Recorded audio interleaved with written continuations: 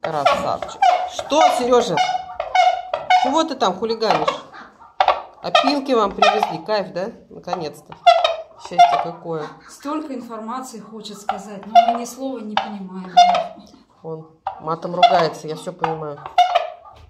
А, спасибо, говорит, за опилки. Ладно, спасибо, говорит. Да они бедные устали уже грязи